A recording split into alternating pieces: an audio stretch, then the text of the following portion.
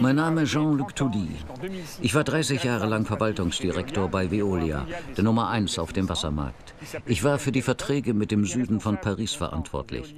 Diese Arbeit hat mir gezeigt, wie ein Unternehmen auf Expansionskurs aus Wasserverbrauchern Milchkühe macht. Deshalb habe ich dieses Buch geschrieben.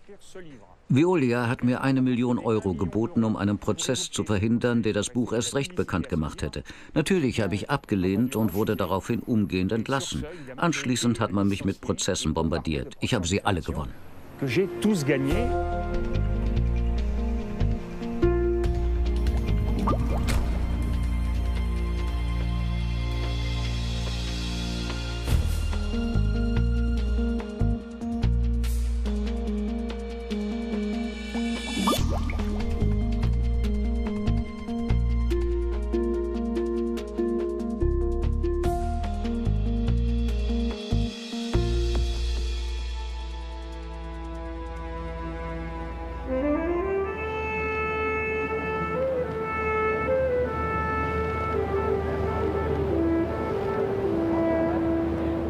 Wir sind am Ufer der Seine, die Paris in zwei Teile teilt.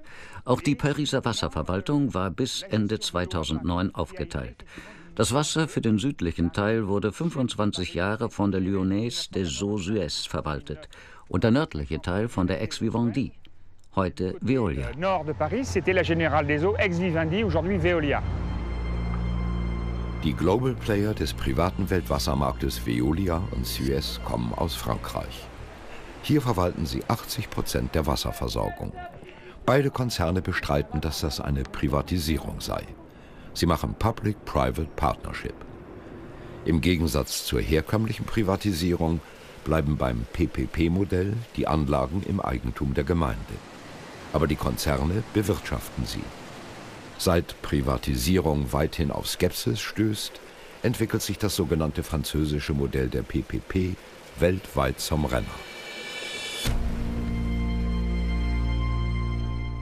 Aber nirgendwo gibt es so viel Erfahrung mit Veolia, Suez und diesem PPP-Modell wie in Frankreich.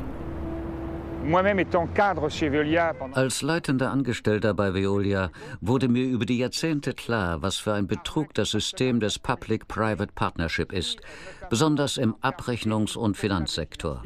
Das hat natürlich Auswirkungen auf den Wasserpreis. Alleine in den letzten zehn Jahren ist der Wasserpreis in Paris um mehr als 103 Prozent gestiegen.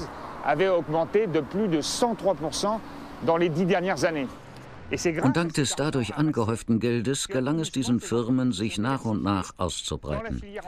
Den Anfang machte das Wasser. Dann kam das Abwasser hinzu.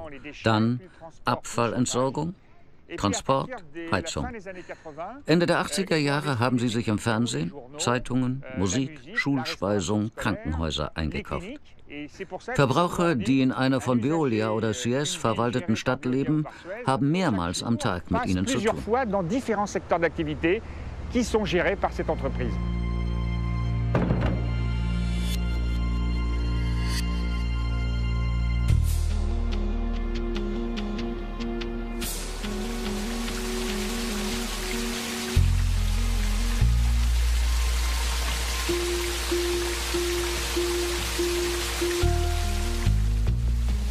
Ile-de-France.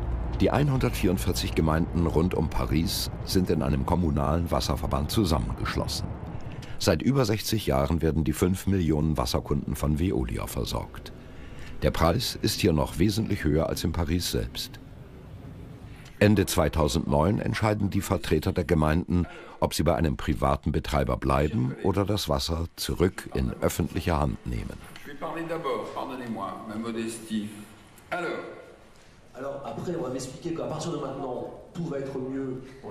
Knapp die Hälfte der Kommunen sind entschieden für eine öffentliche Verwaltung, wie auch Jean-Luc Touly. Doch ausgerechnet die Gewerkschafter halten an Veolia fest.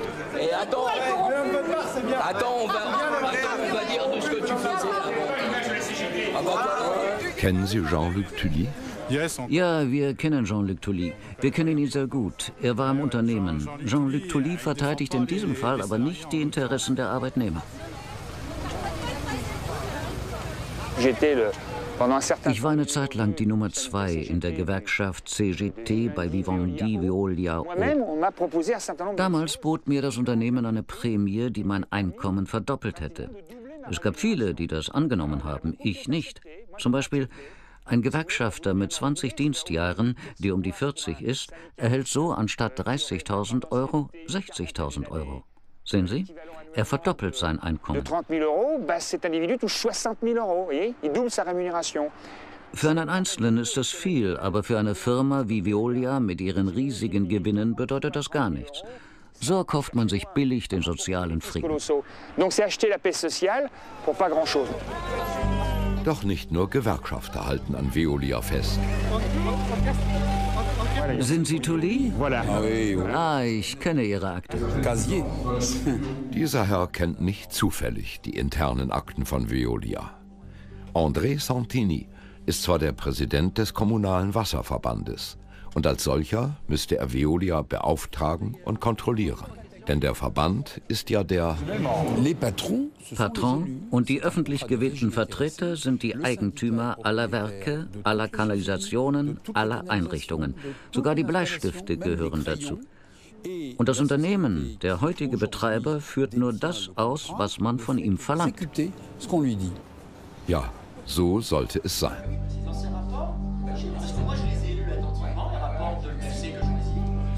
Herr Santini ist aber gleichzeitig auch noch Vorsitzender des Wassereinzugsgebietes Seine-Normandie, welches billige Kredite unter anderem an Veolia vergibt. Sein Stellvertreter ist gar Mitglied des Vorstandes von Veolia. So verwechselt Herr Santini schon mal, wen er gerade vertritt.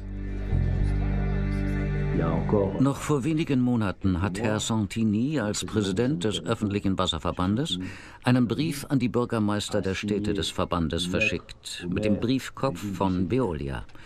So stecken die miteinander unter einer Decke. Stellen Sie sich vor, der Verteidigungsminister würde einen Brief mit dem Briefkopf einer Rüstungsfirma verschicken. Auch viele dieser Gemeindedelegierten verbinden vor allem wirtschaftliche Interessen mit Veolia. In geheimer Abstimmung entscheidet sich eine Mehrheit für die Fortsetzung des Vertrages, dem Veolia nach einer Ausschreibung gewinnt. Korruption! Die Delegierten hätten sich in einer öffentlichen Abstimmung zu ihrer Position bekennen müssen. Hier ist aber sehr viel Geld im Spiel. Es handelt sich um einen Betreibervertrag über 300 Millionen jährlich. Veolia macht bis zu 70 Millionen Gewinn im Jahr. Da gab es sicher einen sehr großen Druck.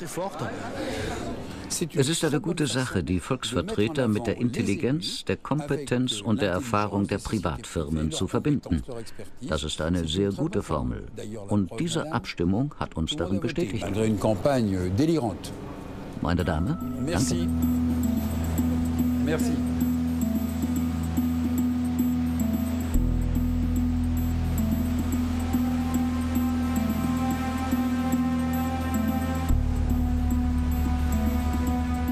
Grenoble, eine Stadt am Rande der französischen Alpen. Hier hat einst der andere Global Player, Suez Lyonnaise des Eaux, gezeigt, wie sich die Kompetenz und die Erfahrung einer Privatfirma mit den Interessen des Bürgermeisters verbinden. Das ist der Ort, an dem Suez den Bürgermeister bestochen hat und an dem die Entscheidung gefällt wurde, die Wasserversorgung in Grenoble zu privatisieren.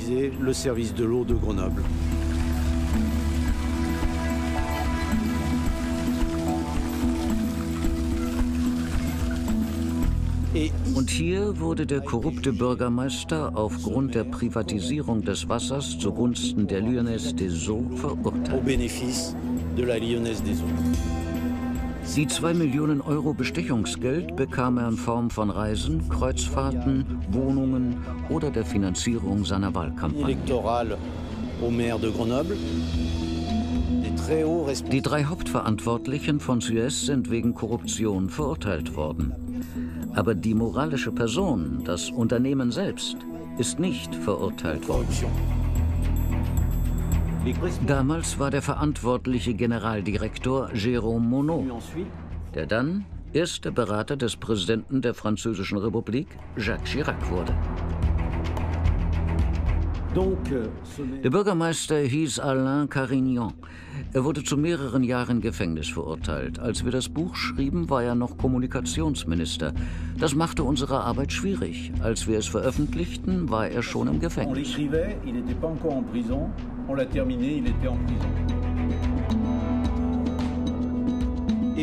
Während der ganzen Zeit blieb er in Sarkozys Nähe. Im Wahlkampf zeigte er sich auf Fotos neben Herrn Sarkozy. Lors d'une récente campagne électorale avec la photo de Monsieur Sarkozy à côté. Das sieht man auch auf dieser Montage hier. Gemeinsam ist alles möglich. Und er ist auch weiterhin ein enger Freund der höchsten Person im französischen Staat.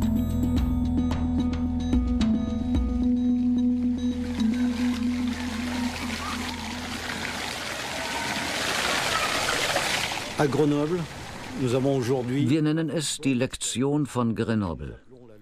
Zehn Jahre lang hatten wir die private Wasserversorgung. Jetzt ist sie schon wieder seit zehn Jahren öffentlich. Wir können also vergleichen. Was ist zur Zeit der Privatisierung passiert? Die Lyonnaise des Eaux hat das gesamte Wissen in Beschlag genommen. Sie hat ihren Stempel sogar auf alle Karten der Leitungsnetze gedrückt, hat sich das ganze Wissen, das ganze Erbe angeeignet. Es gab zu dieser Zeit niemanden mehr auf der Ebene des öffentlichen Dienstes, der sich auskannte und sie kontrollieren konnte. Der Konzern hat den Wasserpreis angehoben und die Wartung und Erneuerung des Netzes reduziert, um höhere Gewinne zu erzielen. Das ist der Wasserpreis, als privatisiert wurde. Privatisierung an Suez, der Preis steigt. Wir nehmen es wieder in die Hand und hier sehen wir, wie sich der Preis entwickelt hat. Gleichzeitig haben wir die Wartungsarbeiten verdreifacht, die Erneuerungen der Kanalnetze und Installationen.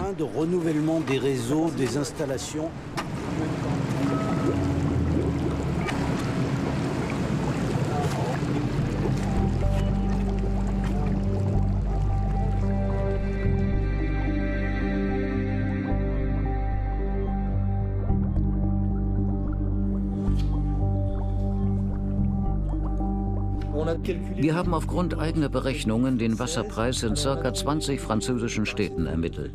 Es gab Städte, in denen die Preise korrekt waren, hauptsächlich die in öffentlicher Hand, wie Chambéry, Grenoble oder Clermont-Ferrand. Wir fanden aber auch Städte, in denen die Preise doppelt so hoch waren, wie in der Ile-de-France, Marseille, Montpellier oder Reims. Dort könnte man die Wasserpreise um 30 bis 40 Prozent senken.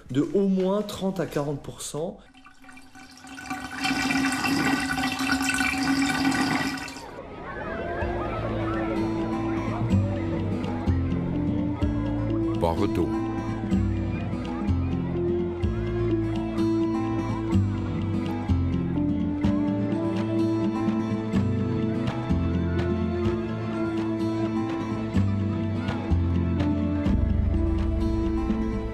Der Betreiber der Wasserversorgung in Bordeaux ist Suez. Warum auch hier ein so hoher Preis? Bei der Untersuchung dieser Frage kam ein hartnäckiger Wirtschaftsprüfer zu erstaunlichen Erkenntnissen. Kaum drei Jahre nach Vertragsabschluss waren die Preise schon um mehr als 30 Prozent gestiegen, während man uns lediglich 15 Prozent angegeben hatte. Also haben wir uns bei der städtischen Kommune von Bordeaux kundig gemacht. Wir waren einen Tag lang dort, haben zu zweit einen ganzen Berg von Dokumenten durchgesehen und sind mit 700 Fotokopien weggegangen. Nach sechs Monaten Arbeit ist es uns gelungen, die Dokumente zu entschlüsseln. Ein Beispiel. Lyonnaise Desault sagte uns, ein Zähler für Privatkunden mit einem Durchmesser von 15 Zentimetern habe eine Lebensdauer von zwölf Jahren. In ihren Kalkulationen wird der Zähler also mit einer Lebensdauer von zwölf Jahren berechnet. Aber nach einer technischen und finanziellen Kontrolle haben wir festgestellt, dass dieser Zähler in Wirklichkeit eine durchschnittliche Lebensdauer von 23,8 Jahren hat. In Wirklichkeit berechnen sie uns also zwei Zähler während sie nur die Kosten für einen tragen.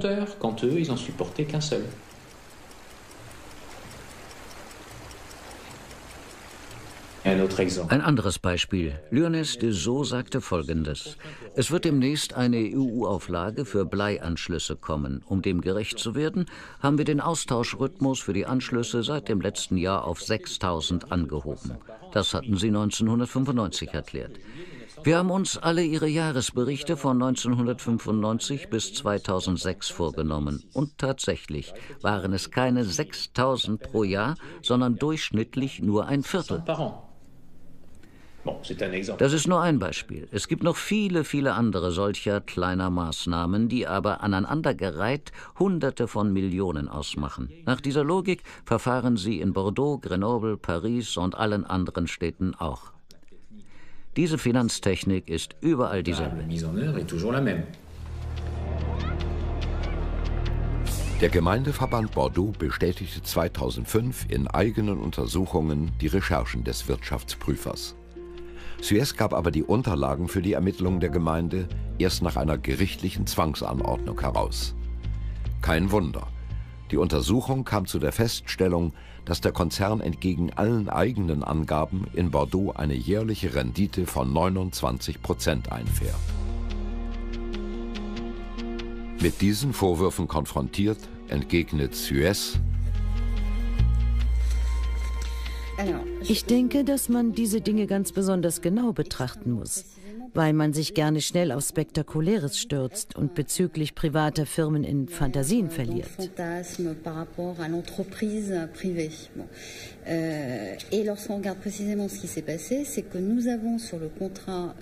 Schauen wir uns doch genau an, was wir in Bordeaux gemacht haben. Wir haben gespart, mehr als im Vertrag vorgesehen war.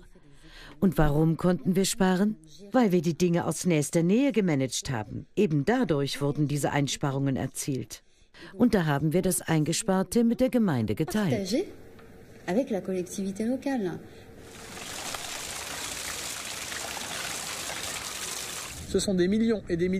Das sind Millionen und Abermillionen, die nur dem Profit der Privaten dienen. Klar, das ist normal. Private Unternehmen wollen Geld machen. Aber hier sprechen wir von Einkünften, die unvertretbar und ungerechtfertigt sind. 2006 zwingt der Gemeindeverband Suez zu einem Vertragsnachtrag. Der Konzern muss 233 Millionen Euro an die Gemeinde zurückerstatten, die er durch seine Finanztricks ungerechtfertigt eingenommen hatte.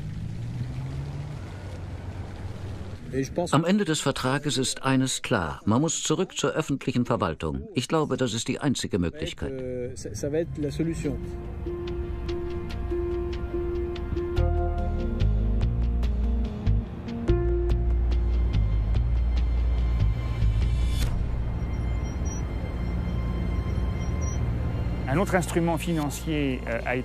Ein anderes, üblicherweise genutztes Instrument der Finanztechnik ist das sogenannte Eintrittsgeld.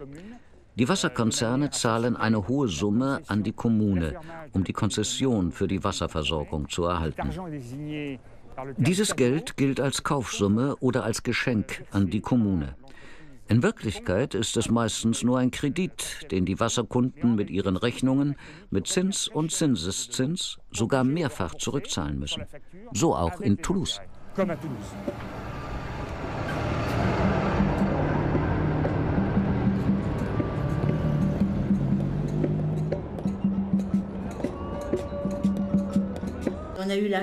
Glücklicherweise sind wir zufällig auf dieses Dokument in der Verwaltung gestoßen. Es gibt detailliert Auskunft über die Rückzahlungsraten des Eintrittsgeldes. 437.500 Millionen Franc werden in zwei Raten von Veolia an die Stadt bezahlt. Dann folgt die Aufzählung der Monatsraten und vor allem die der Zinsen, die bei Rückzahlung des Kredits fällig werden. Das ist der Beweis dafür, dass es kein Geschenk war, sondern ein versteckter Kredit. Das juristische Audit in Toulouse bestätigt das. Voilà. 2008 beruft die Stadt Toulouse ein sogenanntes Audit, einen Untersuchungsausschuss ein, der unter anderem die Finanzberichte von Veolia überprüfen kann. Dafür hat sie den Wirtschaftsprüfer Patrick Dufaux de la Motte als Spezialisten engagiert. Wir sind heute hier zur letzten Runde des Audits der Stadt Toulouse. Ein Hauptpunkt ist, dass die Stadt ein sehr hohes Eintrittsgeld bekommen hatte, nämlich 435,5 Millionen Francs, das schwer auf den Verbrauchern lastet. Denn sie sind es, die diese Summe über den Wasserpreis zurückzahlen müssen.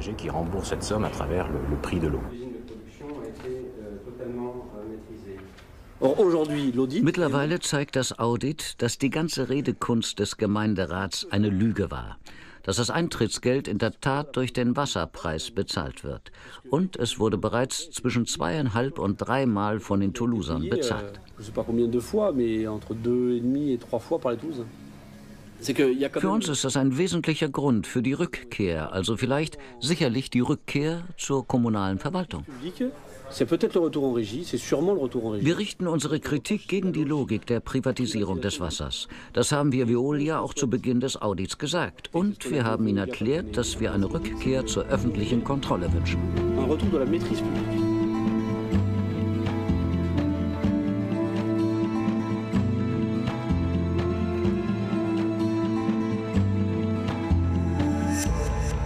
In Toulouse hatte der ehemalige Bürgermeister Dominique Baudis der 1989 die Privatisierung einfädelte, mit dem Eintrittsgeld die lokalen Steuern gesenkt.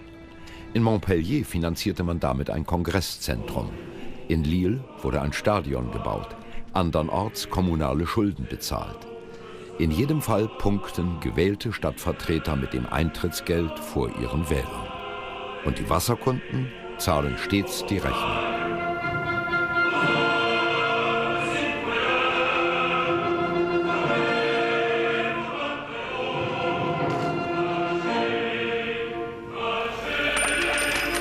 So haben Veolia und Suez viele Bürgermeister Frankreichs geködert.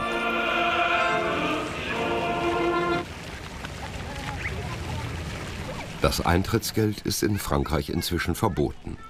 Unter anderen Namen dient es aber weiterhin auch international als betrügerischer Türöffner. In Deutschland sind die Wasserwerke meist noch kommunal. Veolia hat es aber nach eigenen Angaben bereits geschafft, als Dienstleister oder Konzessionär an der Wasserversorgung von 300 Gemeinden beteiligt zu werden. Braunschweig.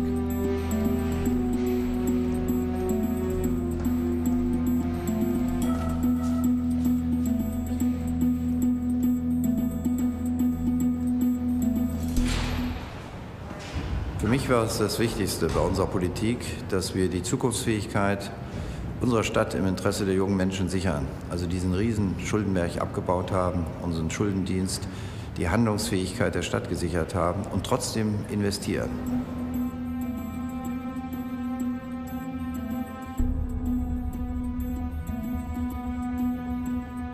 Der größte Brocken, auch sehr umstritten war, war äh, der eigentliche Kern unserer Stadtwerke, die Braunschweiger Versorgungs AG, die Gas, Strom, Wasser liefert.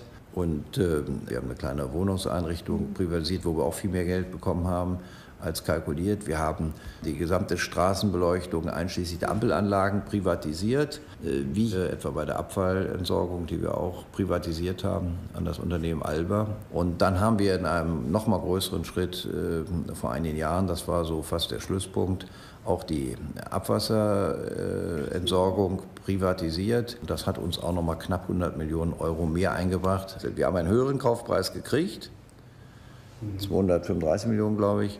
Und da ging vieles runter. Da haben wir dann Altschulden abgelöst und so weiter und so weiter. Das waren alles Beträge, die zusammen dazu mitgeholfen haben, diese große Schuldenlast abzubauen.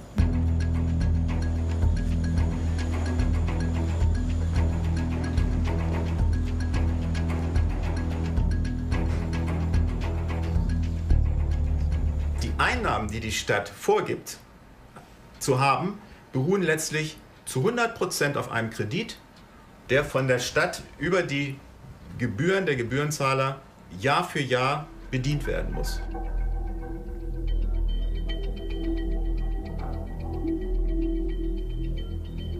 Die Bank darf 30 Jahre lang jetzt, so ist das hier aus unseren Abwasserverträgen, äh, von den Gebühren einen Teil verlangen für Zinstilgung, auch wenn zum Beispiel Veolia gar nicht mehr da ist und pleite ist.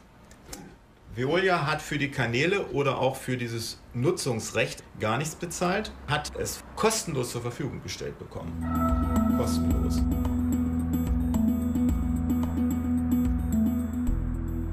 Der aufgenommene Kredit ist mittels eines Strohmannes, das ist der Abwasserverband Braunschweig, ein öffentlich-rechtlicher Verband, der unter Kontrolle der Stadt Braunschweig selbst steht, besorgt worden. Die Schulden der Stadt sind äh, ausgelagert worden in andere Gesellschaften und müssen letztlich von den Bürgerinnen und Bürgern zurückgezahlt werden. Wir haben ausgerechnet, dass die Schuldenlast von den 230 Millionen in 30 Jahren äh, dort steigen wird auf rund 500 Millionen, die in 30 Jahren dann fällig sind, die dann von den Bürgern aufgebracht werden müssen.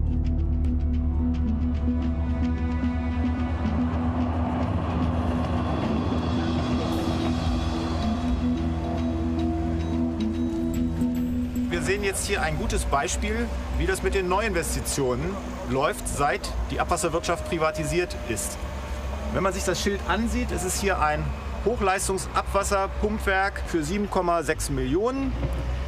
Veolia wendet kein eigenes Geld an, sondern die Stadt ist zur Bank hingegangen und hat unsere Gebühren dafür zusätzlich zu dem Abwasserkredit forfitiert, das heißt gebürgt. Und Veolia aber gilt als Investor, obwohl sie gar nicht für das Geld gerade steht, für den Kredit, sondern nur die Gebührenzahler stehen dafür gerade läuft das aber als private Investition von Veolia. Veolia schreibt ab, kaufmännisch die ganze Geschichte, hat also auch noch die Steuerersparnis und verdient sogar noch 25 Prozent der Planungskosten. Summa summarum eine Million zusätzlich verdientes Geld, unabhängig von dem Dienstleistungsvertrag aus der Stadtentwässerung. Alles läuft über Kredite, für alles haftet der Gebührenzahler.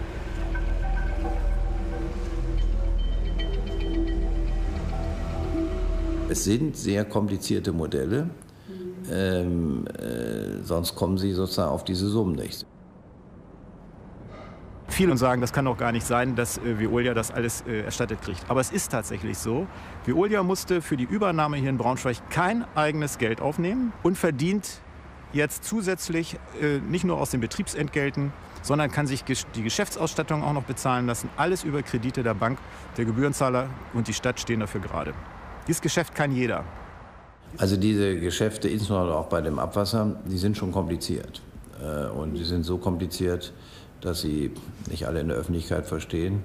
Und muss ich sagen, nicht mal alle, äh, die auch hier im Rat Fraktion sind, äh, verstehen es wohl ganz.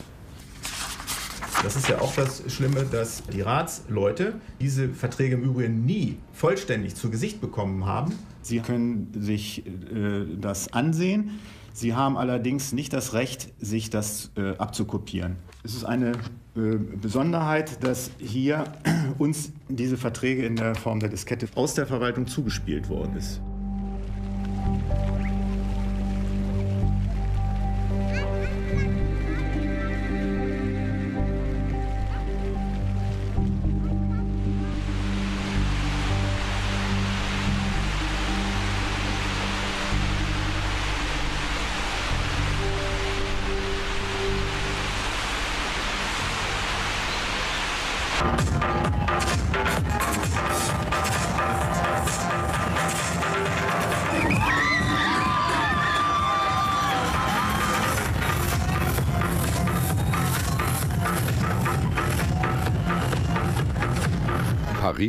2009.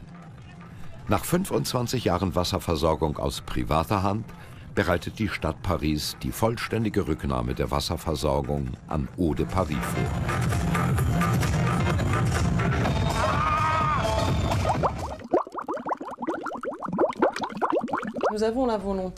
Wir wollen nach und nach die öffentliche Kontrolle über das Wasser in Paris zurückholen. Das heißt, die Kontrolle kehrt ins Rathaus zurück. Wir haben einen Untersuchungsausschuss eingerichtet, erstellten Studien. Schon 2003, 2004 haben wir die Verträge neu verhandelt, um die Investitionsrücklagen von den Betreibern zurückzubekommen. Die Chefs von Veolia und Suez haben nicht so gut darauf reagiert, wie aus der Presse zu erfahren war. Sie bezeichneten die Rücknahme in öffentlicher Hand als Fehler. Im Nouvel Observateur heißt es dazu, Proclio, der Veolia-Chef, habe den Bürgermeister von Paris angerufen und wütend geschrien, ohne den Vertrag in Paris bekäme Veolia keine Aufträge im Ausland mehr. Auch Suez lässt das Thema Rekommunalisierung nicht kalt. Ich glaube, dass man nicht immer die öffentliche Verwaltung dem privaten Dienstleister gegenüberstellen sollte. Heutzutage haben wir in Wirklichkeit doch nur Public-Private Partnership. Es wäre gut, wenn Sie uns dabei helfen, die Politik der Nachhaltigkeit umzusetzen. Es handelt sich hierbei um eine globale Kulturrevolution und da brauchen wir Sie und nicht eine solche Debatte, entschuldigen Sie, die im Grunde keinen Sinn macht.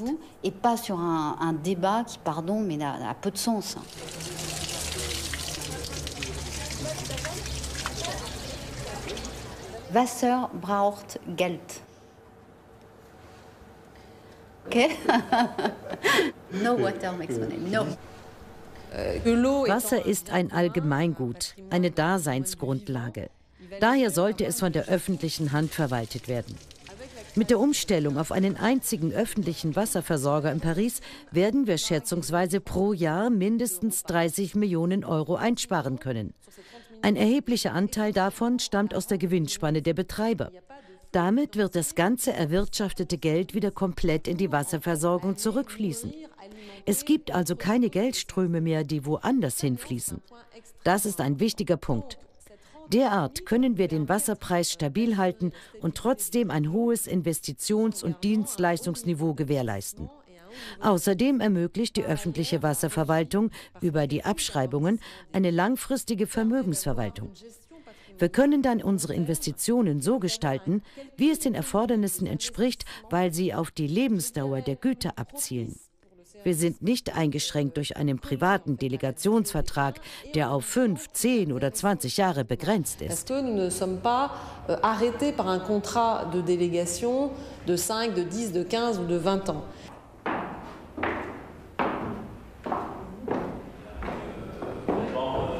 Dieser Brunnen ist über 200 Jahre alt und noch in Funktion.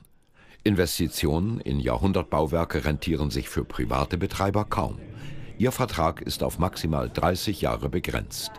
Investitionen im Wasserbereich zahlen sich aber frühestens nach 30 bis 60 Jahren aus.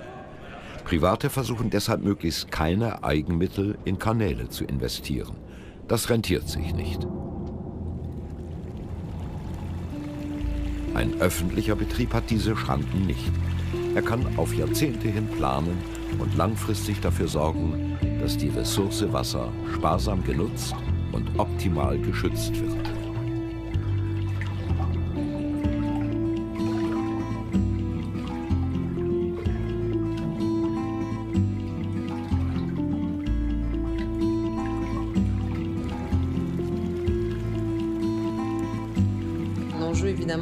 Eine große Herausforderung ist der Gewässerschutz, damit das Wasser nicht so stark aufbereitet werden muss. Denn das kostet sehr viel Geld und ist immer nur eine wiederherstellende Maßnahme. Vorsorge ist natürlich sinnvoller.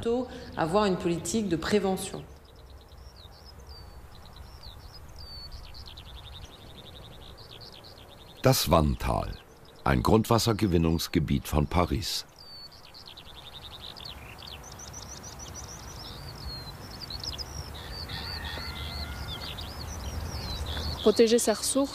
Um die Ressource zu schützen, hat Eau de Paris hier zunächst Boden erworben. Ziel ist es, die lokale Landwirtschaft auf Dauer zu verändern, um so einen Einfluss auf die Ressource ausüben zu können. Wir verpachten den Boden praktisch kostenlos an die Bauern, damit sie unsere Auflagen akzeptieren und die Böden so bebauen können, wie wir es möchten.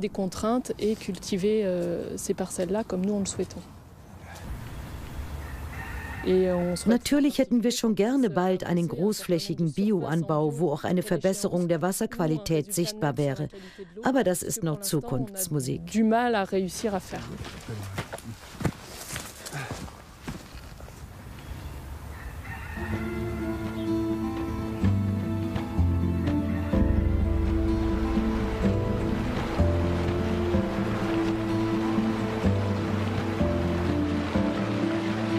Zurück in Grenoble.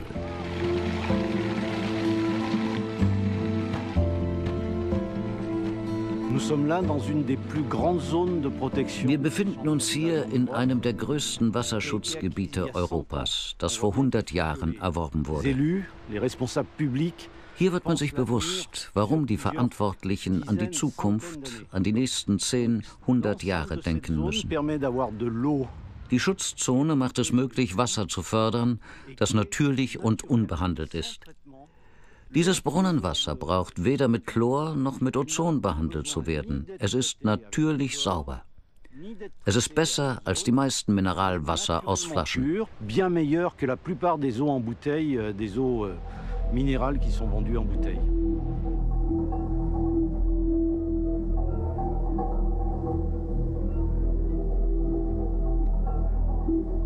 Als ich gewählt worden bin, hatte ich einen Streit mit dem Präfekten, der entschieden dafür war, mit Chlor zu arbeiten. Es ist viel einfacher, mit Chlor zu arbeiten. Dagegen ist es sehr viel schwerer, im gesamten Verteilungsnetz ohne Chlor ein qualitativ hochwertiges, unkontrolliertes Wasser bereitzustellen. Dazu braucht es Einrichtungen entlang der Kanalisation und Angestellte, die sich gewissenhaft darum kümmern. Nur so kann man sicher sein, Wasser in bester Qualität zu bekommen.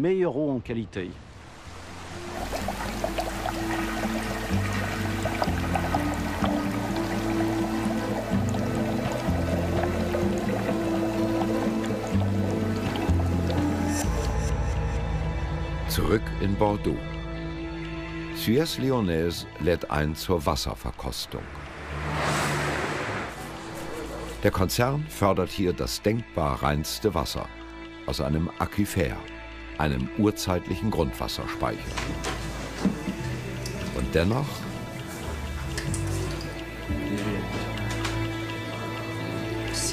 Es schmeckt nach Chlor. Das ist Leitungswasser. Man riecht es. Wenn der Chlorgeruch für Sie zu stark ist, kann man das Wasser etwas stehen lassen. Für uns ist Chlor ein Qualitätsmerkmal.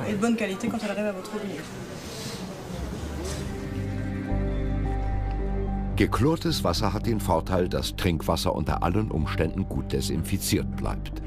Auch wenn das Rohrsystem nicht perfekt gewartet ist die Rohre nicht regelmäßig überholt und repariert werden. Das spart Geld und Personal und gilt als Effizienzgewinn. Doch gesund ist das nicht. Es ist wissenschaftlich nachgewiesen, dass die Chlorung wegen der Erzeugung schädlicher Reaktionsprodukte eindeutig das Krebsrisiko erhöht.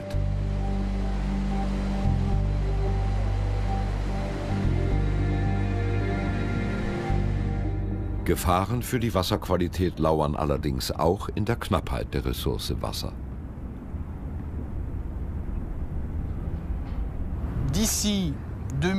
Ab 2013, 2015 müssen wir 30 Millionen von den 150 Millionen Kubikmetern, die in der Region Gironde verbraucht werden, einsparen, um den Pegel des tiefen Grundwassers zu halten. Um diese 30 Millionen Kubikmeter zu sparen, gibt es grundsätzlich zwei Möglichkeiten. Die Suche nach neuen Ressourcen, das heißt zum Beispiel Wasser aus der Garonne zu pumpen, oder aber Wassersparmaßnahmen.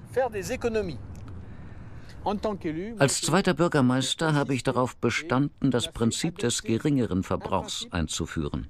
Die Sparmaßnahmen bestanden zunächst vor allem im Kampf gegen die Wasserverluste durch kaputte Leitungen. Das Resultat ist die Senkung des Wasserverbrauchs der städtischen Einrichtungen um 25 Prozent.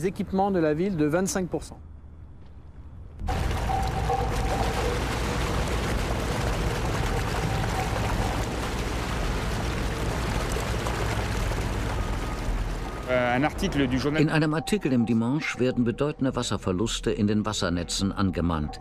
Der Wasserverlust ist in den privat betriebenen Netzen sehr viel höher als in den kommunalen.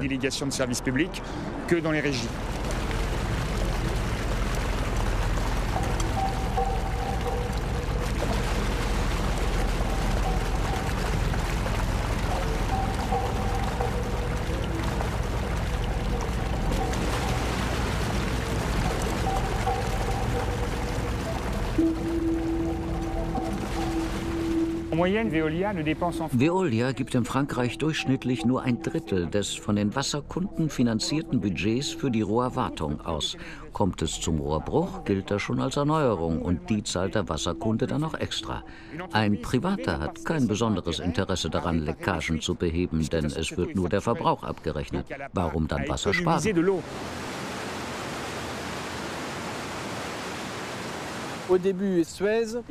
Am Anfang veranstaltete Suez Kampagne mit Slogans wie Einmal duschen hat denselben Preis wie eine Briefmarke oder Einmal Auto waschen kostet sie ein Ei. Euh, Man kann nicht sagen, dass das Wasser im Bordeaux knapp ist. Das wäre so nicht richtig. Aber der Grundwasserpegel leidet unter einer Anzahl von negativen Einflüssen, die durch die Dürre entstehen. Hier kann man vorausschauen und Vorsorge treffen. So ziehen wir Erneuerungstechniken in Betracht wie die der Rückfiltrierung. Suez setzt auf Technik, auf die Förderung zusätzlichen Wassers aus dem Fluss Garonne.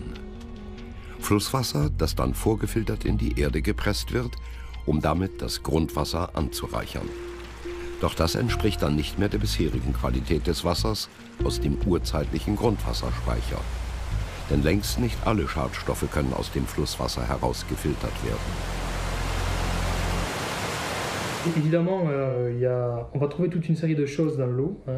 Auf jeden Fall gibt es eine Menge Rückstände im Garonne-Wasser. So findet man Nachtpflegecreme und auch Kopfschmerzmittel wie Aspirin im Wasser, pharmazeutische Stoffe und Reinigungsmittel, sowohl Pestizide als auch Düngemittel, eine ganze Liste unterschiedlicher Stoffe. Das heißt, wenn die Wasserqualität schlecht ist, schlägt sich das auch auf das Trinkwasser nieder. Das ist ein Gedanke, den man in Betracht ziehen muss.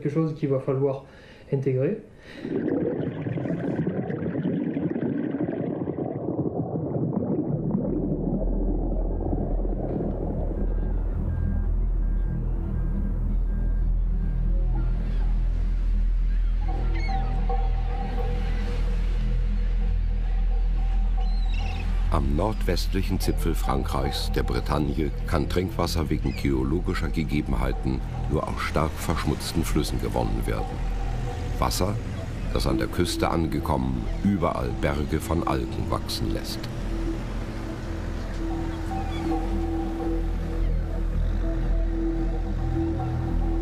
Dieses Jahr wurden an diesem Strand 20.000 Tonnen Algen eingesammelt. Die Wasserqualität hier ist ekelhaft. Wir haben mehr als 80 Milligramm pro Liter Nitrat im Wasser, das hier an der Steilküste und in den Flüssen zu finden ist. 95 Prozent der Nitrate kommen aus der intensiven Landwirtschaft. Aber wirklich schlimm ist ja, dass sich in diesen faulenden Algen eine Menge chemischer Produkte befinden, die aus der Tiernahrung stammen, wie Beta-Blocker, Penicillin, Antibiotika und Schwermetalle, die die Nahrung der Tiere stabilisieren. All diese Produkte zusammengenommen werden durch ihre Kombination zu einer zerstörerischen chemischen Bombe in unserem Wasser une bombe de destruction massive dans notre eau.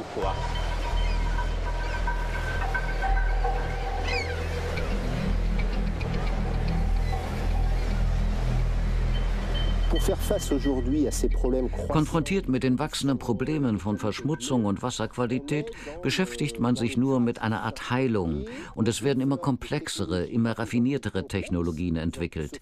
Hier wird es für Unternehmen wie Veolia und Suez natürlich interessant. Deshalb entwickeln sie unaufhörlich neue Technologien, die Ultrafiltration, die Nanofiltration, die Umkehrosmose. Doch dies ist eine Flucht nach vorn in die Sackgasse weil es immer mehr Verschmutzungen geben wird, weil das alles schon heute extrem teuer ist. Es wäre viel wichtiger, diese Verschmutzungen an der Quelle zu reduzieren. Zum Beispiel durch den Schutz der Wasserressourcen oder den Wandel hin zur biologischen Landwirtschaft.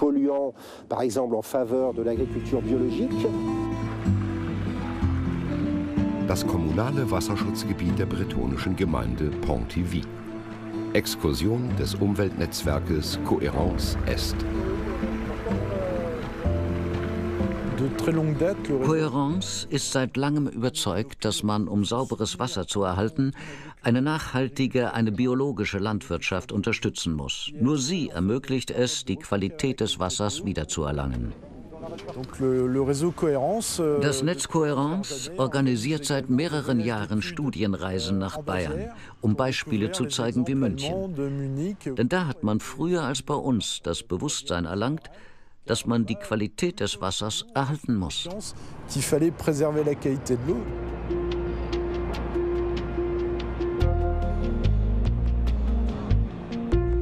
Die süddeutsche Stadt München.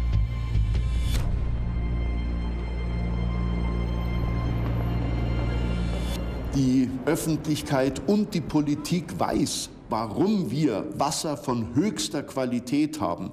Natürlich hat das mit der Lage Gunst am Fuße der Alpen zu tun.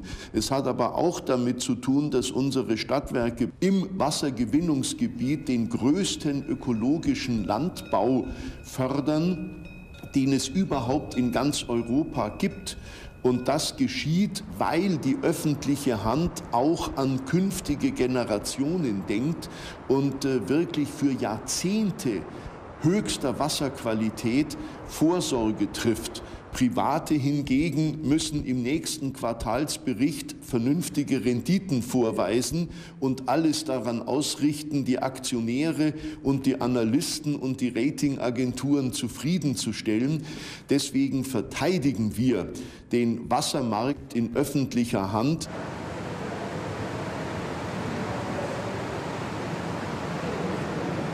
Wenn man die Kurve anschaut von Nitratwerten,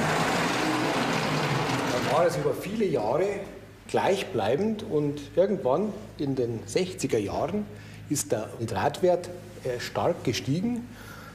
Unsere Nitratwerte waren bei einem Wert von 14 Milligramm. Wir haben dann 1992 die damals revolutionäre Idee gehabt, den ökologischen Landbau einzuführen. Wir haben als erstes alle Landwirte angeschrieben, ob sie denn nicht ökologisch Wirtschaft wollen und schließlich einen finanziellen Anreiz geschaffen, dass die Umstellung leichter funktioniert. Wir haben heute 110 Landwirte unter Vertrag und haben einen Nitratwert von 7 Milligramm. Wir sind die Familie Kröll, Anna und Anton Kröll. Ich für meinen Teil bereue es überhaupt nicht, dass wir umgestellt haben. Das entspricht eigentlich unserer Lebenseinstellung mehr und vom Betrieb her ist es halt einfacher geworden. Dann kriegen wir natürlich für die Milch mehr und fürs Fleisch mehr, das ist ja ganz klar. Und wir kriegen halt jetzt zusätzlich die Prämie noch von den Stadtwerken.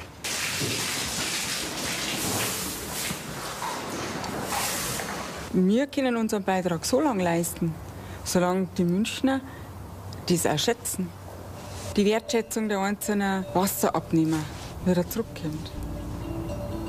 Das ist also ein gegenseitiges Spiel. Wir ein Lor bewirken nichts und der Wasserabnehmer oder der Verbraucher kann auch nichts machen.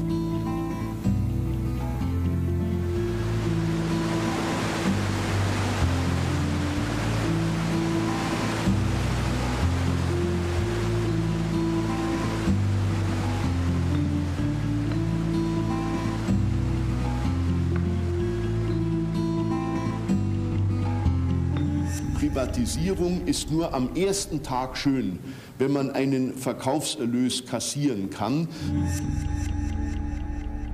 Aber dann kommt, dass man keinen Einfluss mehr hat, keine Gestaltungsmöglichkeit. Man ist den Investitionsentscheidungen von fernen Konzernzentralen ausgeliefert. Man hat keinen Einfluss auf die Preise, auf die ökologische Qualität.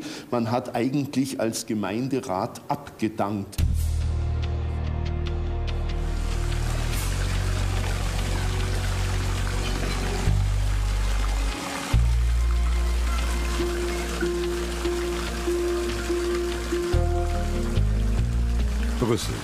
Die Hauptstadt Belgiens.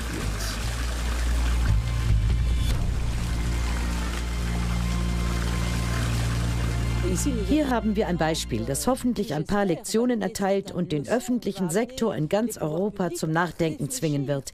Ich bin auf jeden Fall dazu bereit, überall zu erklären, dass man sich nicht unbedachterweise in eine Zusammenarbeit stürzen soll, in der man den privaten Partnern so viel Spielraum zuerkennt. In Belgien war die Wasserversorgung bis 2001 zu 100 Prozent kommunal. Dann bekam eine Tochterfirma von Veolia, Aquiris, den Zuschlag für die Abwasserkläranlage Brüssel Nord als Public-Private Partnership dank ihrer neuen Technik zur Entsorgung des Klärschlammes. Dieses ATOS genannte System soll eine Tonne Klärschlamm auf 50 Kilogramm Sand reduzieren. Ja, ja, Sie natürlich, wir sind sehr stolz, so etwas Schönes, so etwas Neues, so etwas Größeres äh, zu haben. Den 11. März 2008 ist das äh, offiziell äh, offen gegangen und dann ist ja unsere König gekommen. So, das war eine wichtige Sache, so eine schöne neue äh, Station zu haben.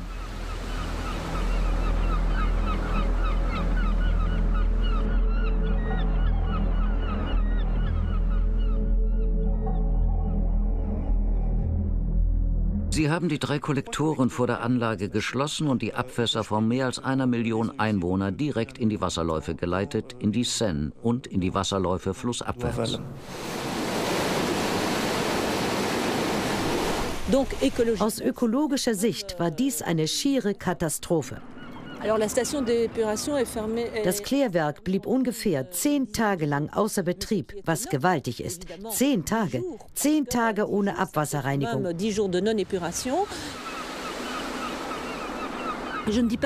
Natürlich hätten auch technische Probleme bei einer kommunalen Anlage auftreten können. Wir hätten aber auf keinen Fall einen so brutalen Stopp des Klärwerks erlaubt, so wie er sich unter den Privaten vollzogen hat. Und da ist genau der Haken dass der öffentliche Bereich vor vollendete Tatsachen gestellt wurde durch den abrupten Betriebsstopp der Kläranlage durch die Privatbetreiber.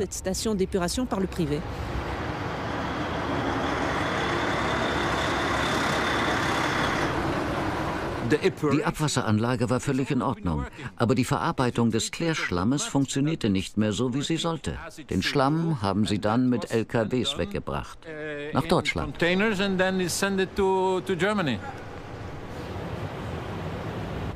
Sie hatten schon monatelang Probleme mit diesem System. Ja, und jetzt erzählt man sich, dass sie angeblich die Lösung gefunden haben. Aber diese Lösung würde sehr viel Geld kosten. euh.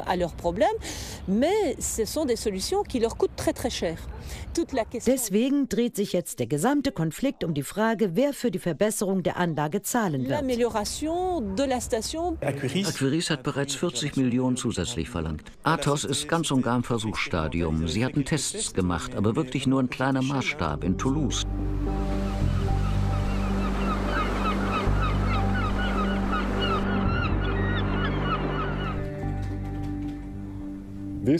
In diesem Artikel werden sehr ernste und detaillierte Vorwürfe gemacht. Es wird behauptet, dass der Ausschreibungstext mitten im Verfahren verändert wurde durch die Aufnahme des Begriffes experimentelle Technik, damit sich Veolia überhaupt bewerben konnte. Ein weiterer Vorwurf besteht darin, dass Veolia viel Druck gemacht hat über den französischen Staat, verschiedene Lobbygruppen und Netzwerke. Sie haben zum Beispiel eine ganze Gruppe von Abgeordneten und hohen Verwaltungsbeamten auf große Yachten in Saint-Tropez eingeladen, direkt vor der Entscheidung der Ausschreibung. Der Mann fragt, na, wie findest du das Wasser? Oh, sehr gut. Der Nachgeschmack von Korruption gibt dem Ganzen eine reine Note.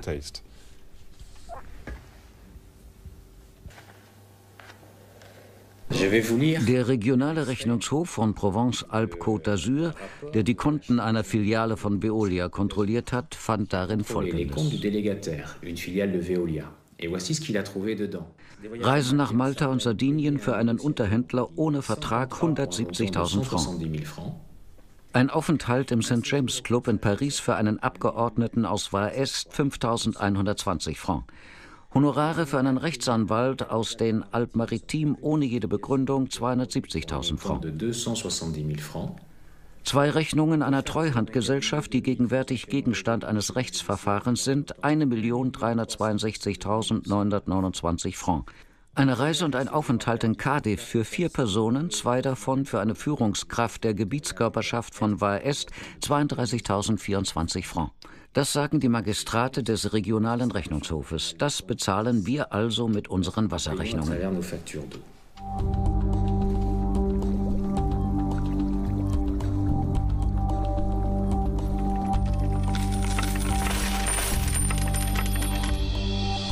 Das südfranzösische Montpellier. Hier wurde 1994 der Verantwortliche von Veolia verurteilt wegen der Zahlung von umgerechnet 1,2 Millionen Euro Bestechungsgeld bei der Privatisierung der Wasserversorgung. Trotz Verurteilung ist Wasser und Abwasser bis heute in der Hand des Konzerns. Und auch in den Universitäten der Stadt spielt Veolia mit Suez eine entscheidende Rolle. Es gibt an der Schule für Wasser- und Forstwirtschaft einen Lehrstuhl von Suez, genauso wie es bald an der Universität 2 einen Lehrstuhl von Veolia geben wird. Und das Projekt wird wohl letztendlich durch das Kompetenzzentrum Wasser getragen. Eine starke Verflechtung von Wissenschaft und Wissenschaftsinteressen der Betreiber und anderer. Vielleicht ist es auch nicht so geschickt, dass Monsieur Bouchou, der Regionaldirektor Süd von Veolia, an der Spitze des Kompetenzzentrums steht. Genauso wie es vielleicht ein wenig ungeschickt ist, den Zusammenschluss der lokalen Wasserwissenschaftsgesellschaften Svelia zu nennen, als wäre es eine Verschmelzung von Suez und Veolia. Euh, so ist es nicht ausgeschlossen, dass sich dieses Forschungszentrum immer mehr, ja ausschließlich, zu einer utilitaristischen Wissenschaft im Dienst der Betreiber entwickelt. plus et seulement de recherche-développement au service des, des opérateurs de service. Das Tal des Ero. Die wissenschaftlichen Promoter des Kompetenzzentrums und andere Wissenschaftler der Universität Montpellier II erstellten 2005 ein Gutachten, das hier unerschöpfliche Wasserressourcen für die schnell wachsende Metropole Montpellier bescheinigte. Die Pumpstation für die Probebohrungen. Philippe Machetel ist hochrangiger Wissenschaftler und Bürgermeister von Saint-Guillaume-le-Désert, der angrenzenden Gemeinde. Voilà, wir befinden uns hier vor dem Hauptausgang des Quellaustritts der Sanfon. Ich werde Ihnen das Geräusch des Wassers zeigen. Hier der Stein. Genau, es gibt ein kleines Geräusch nach einem Fall von etwa 10 Metern. Nach dem Pumpversuch ist das Niveau des Quellwassers 50 Meter unter den Fluss gefallen. Euh, euh, als es zu der katastrophalen Pumpaktion kam, mussten sie nach zehn Tagen aufhören, weil es kein Wasser mehr gab.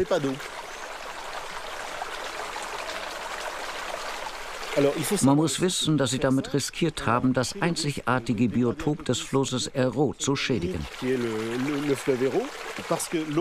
Dieses Wasser hat ungefähr 13 Grad Celsius, also es ist sehr, sehr kalt, während das Wasser des Ero im Sommer 25 bis 30 Grad Celsius haben kann.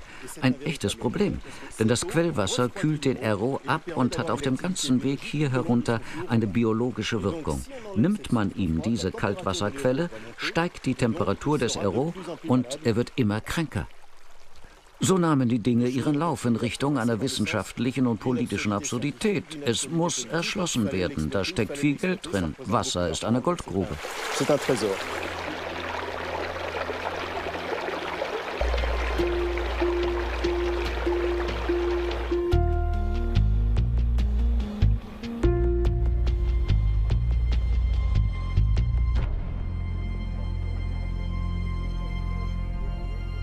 Qu'on corrompt ou qu'on donne dans un système euh, quelques formes de denn wenn man in diesem System korrumpiert oder Subventionen, Kredite, Geschenke gibt, dann muss man das Geld großzügig ausstreuen. Und selbst die Umweltorganisationen, selbst diejenigen, die ich hoch schätze, werden großzügig finanziert. Zum Beispiel France Nature Environnement durch Veolia, Propreté oder Aktion gegen den Hunger, das Rote Kreuz, La Solidarité und andere. Selbst in der katholischen Hilfsorganisation Secours Catholique ist der Verantwortliche für Wasserfragen ein ehemaliger Personaldirektor von Veolia. Auf allen Ebenen stehen wir vor einer totalen Mischung der Rollen. Und wenn Politiker eine Wahl verlieren, dann werden diese Leute von CS oder Veolia angestellt.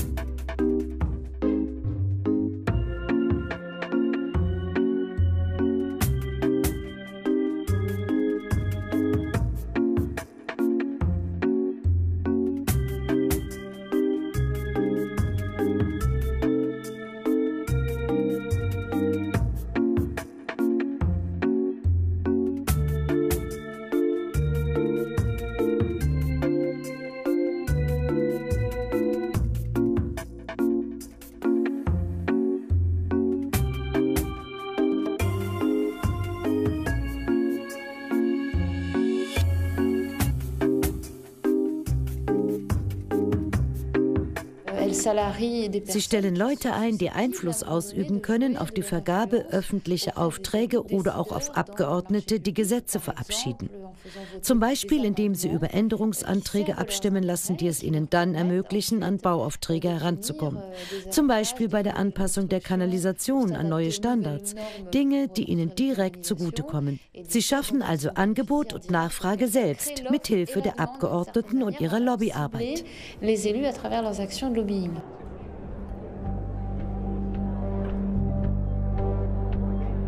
Brüssel. Das Parlament der Europäischen Union und der Versuch, das weit verzweigte Netzwerk darzustellen, über das Veolia auf die EU einwirkt.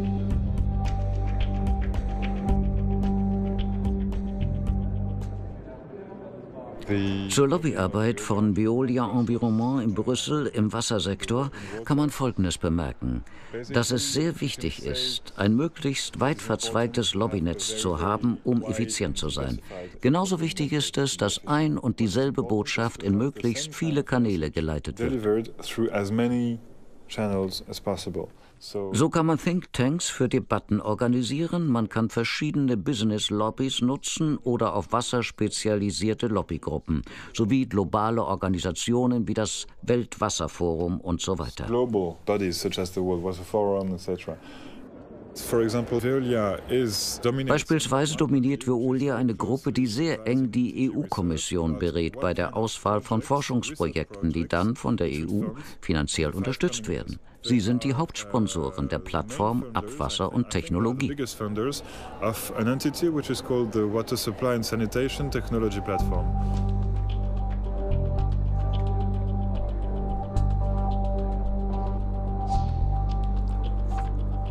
So beeinflusst Veolia die EU-Kommission bei der Entscheidung der Forschungsprojekte, die sie später selber beantragen werden. Sie bekommen von der EU-Kommission Projekte gefördert, die sie selbst vorgeschlagen haben.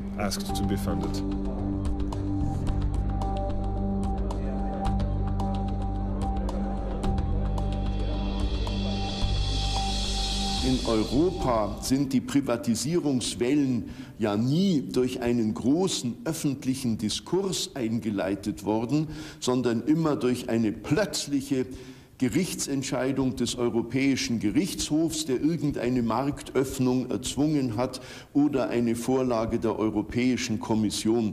Und deswegen sage ich, Wachsamkeit ist das Gebot der Stunde. Die Konzerne, die sich diesen Geschäftsbereich unter den Nagel reißen wollen, gibt es nach wie vor und sie rütteln ständig wieder am Tor des Marktzugangs. In der Erklärung vom 19. Mai 2009 eröffnet der Sprecher der EU-Kommission, Wasser sei eine Ware wie alles andere auch. Damit wurde die Absicht der EU-Kommission bekräftigt, mit der Ausschreibungspflicht der öffentlichen Versorger diesen Markt für Private zu öffnen. Es ist das System, das heute eine wahre Wirtschaftsdiktatur ist und das Wasser ist die Geisel dieser Wirtschaftsdiktatur.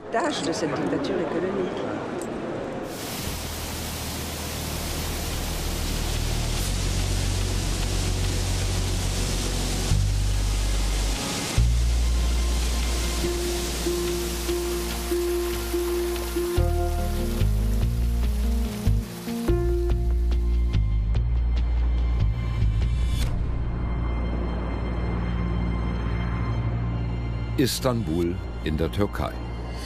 2009 findet hier die weltweit größte Lobbyveranstaltung zum Thema Wasser statt. Das Weltwasserforum. Ins Leben gerufen vom Weltwasserrat, einem selbsternannten Organ der großen Wasserkonzerne Veolia und Suez, der Weltbank und einiger Helfer. Mit der Anmaßung einer globalen Organisation des Wassers versammeln sich unter dem Dach der Privaten Minister, Staatslenker, UN-Vertreter und das große Business des Wassers.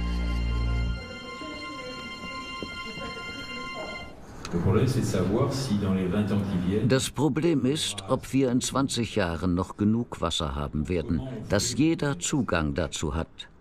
Und wie machen wir es, dass jeder Zugang zu Wasser hat? Dies ist die Problematik, die während dieses Forums diskutiert wird. Denn es ist die Würde der Männer und Frauen, Wasser haben zu können. C'est la dignité des hommes et des femmes de pouvoir avoir de l'eau.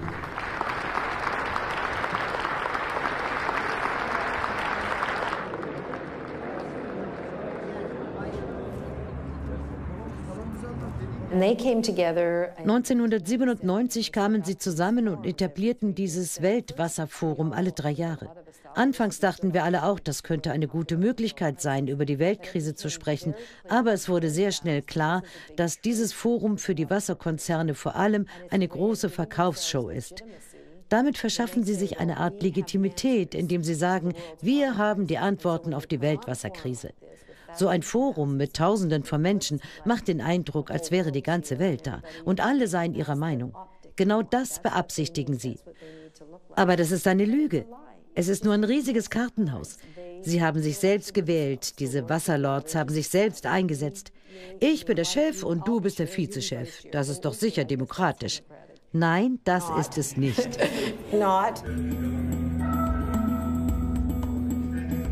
Das Weltwasserforum bietet den Konzernen nicht nur einmalige Geschäftsverbindungen in alle Welt. Es sichert ihnen auch, wie von selbst, wichtigen Einfluss auf alle wasserrelevanten Gremien der Vereinten Nationen und stets mit der Botschaft Public-Private Partnership.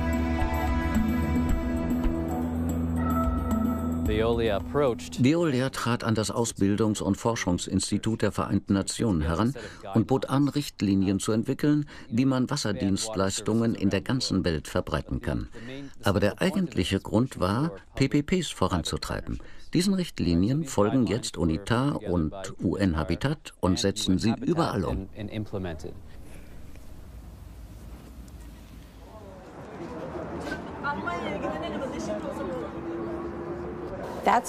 Natürlich ist das Privatisierung. Veolia und Suez sagen, aber nein, das machen wir überhaupt nicht mehr.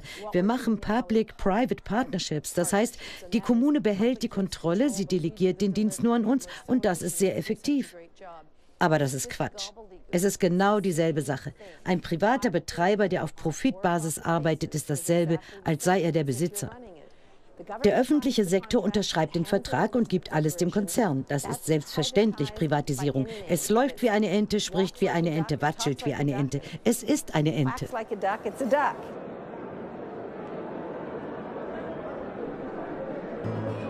Maud Barlow ist Teilnehmerin des alternativen Gegenforums, zu dem zahlreiche Betroffene und Kritiker der Privatisierung des Wassers aus aller Welt angereist sind.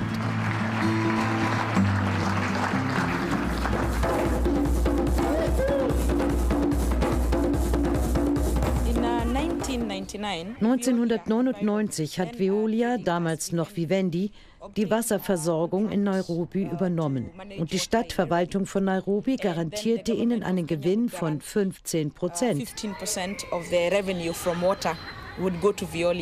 Deshalb sollte der Preis des Wassers jedes Jahr um 40 Prozent steigen.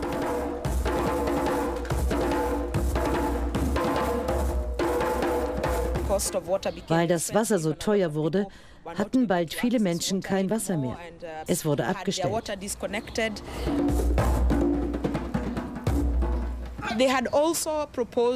Also Aber dann schlugen sie der Stadt vor, 3500 einheimische Arbeiter in der Wasserversorgung zu entlassen und dafür 45 Experten aus Frankreich einzustellen. Diese kleine Gruppe sollte die Stadtverwaltung allerdings mehr kosten als die 3500 Kenianer.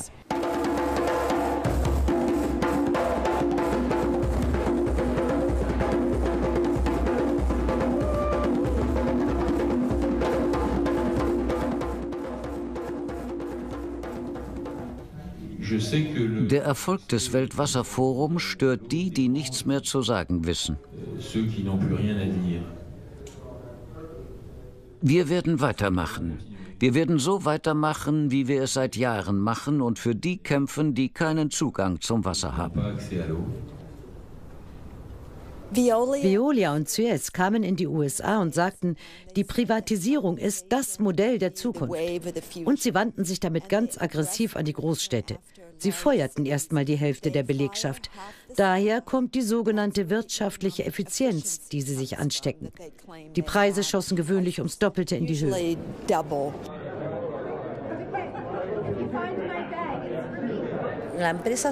Suez verlangte gleich die Erhöhung des Wasserpreises um 700 Prozent im Vergleich zum öffentlichen.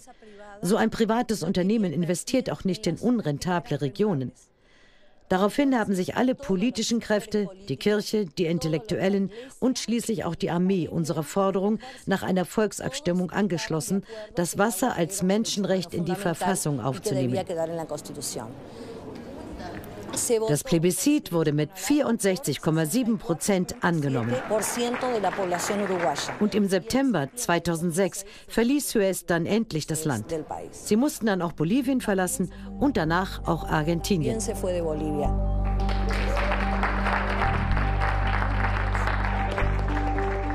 Buenos Aires, Atlanta, Cochabamba, Johannesburg, Stockton, Felton, sind nur die berühmtesten Beispiele für den Kampf um eine erfolgreiche Rekommunalisierung.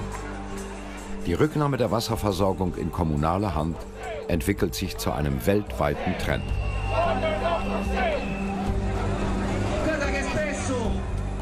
Zum Beispiel Italien, ein landesweites Volksbegehren, das die von Regierungschef Berlusconi beabsichtigte Privatisierung der Wasserversorgung verhindern soll.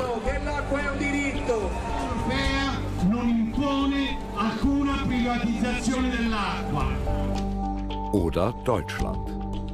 Dort, wo man bereits Erfahrung mit Privatisierung hat, ist die Rekommunalisierung des Wassers der Trend, wie zum Beispiel in Stuttgart. Hier hat der Stadtrat nach einem Bürgerbegehren mit großer Mehrheit beschlossen, die vom Veolia-Anteilseigner EDF betriebene Wasserversorgung zu rekommunalisieren.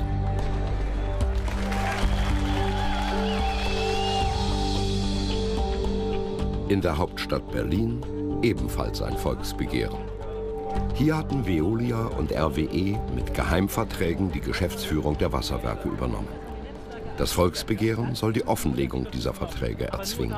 Und darum, wenn Sie also hier schon mal mit unterschreiben wollen, ich gebe Ihnen gerne so ein oder zwei Listen mit. Im Heimatland der Konzerne Veolia und Suez rollt aber die eindrucksvollste Rekommunalisierungswelle.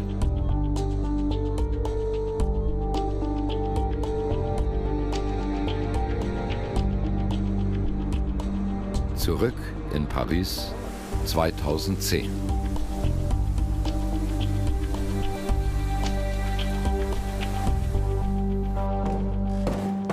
Voilà, jetzt haben wir die kommunale Verwaltung des Wassers in Paris. Nachdem wir 25 Jahre lang Veolia und Suez den Vertrieb des Wassers in Paris anvertraut hatten. Alle Aufgaben der Wasserversorgung sind nun wieder in öffentlicher Hand. Das ist für die Wasserversorgung eine historische Entscheidung.